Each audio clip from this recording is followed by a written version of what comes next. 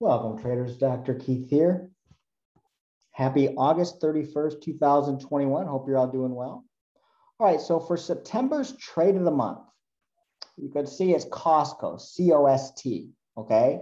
And this is unique because typically when I do my, my forecast, forecasted trade of the month, okay, it's not going to be on the actual trigger day.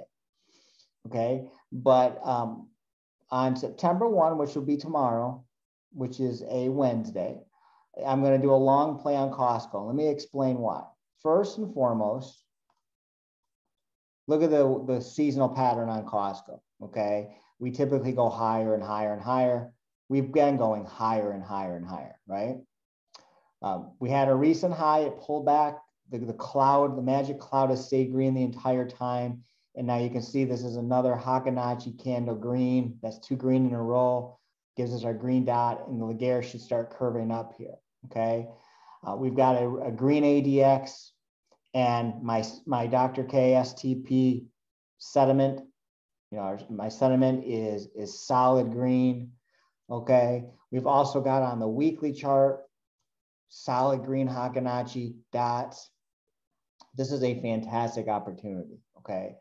So, you know, if you're going to buy this stock, you know, you can look to hold it going into the end of the year.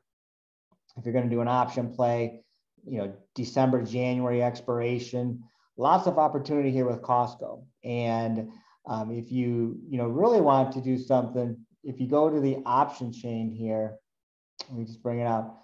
You can even do a further out Jan June of 22 or January of 23 leap. Okay um, this would be a good long-term investment in my opinion as well. Okay. But again, talk to your financial advisor, make your own decisions. Um, but my trade of the month for September is Costco, and I'll actually be entering it on September 1. Thanks, folks. Hope you enjoy and good luck. Take care now.